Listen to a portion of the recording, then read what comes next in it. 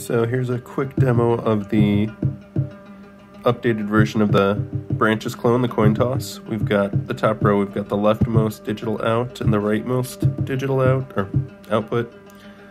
Um, coin tossing between the two, and you can see there's the threshold line, which we can adjust. Um, in the display, we've got uh, the O's are the top row, the X's are the bottom row, um, which goes on every fourth beat.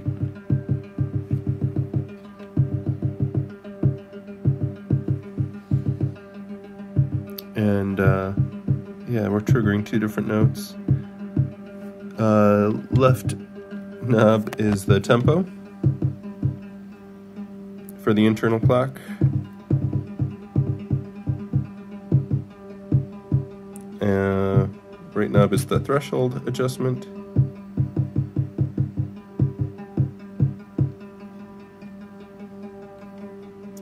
Um, left button switches between gate and trigger mode. So now we're in gate mode. Now we're in trigger mode. No, we're not. Now we're in trigger mode. um, let's look at some more interesting stuff. So we've got a clock over here coming out of the Varigate. And let's switch over to external clock mode. There's no external clock, so nothing's happening. But let's plug it in. Cool, we can see it matching the tempo of the Varigate. Let's try adjusting the tempo. Nice.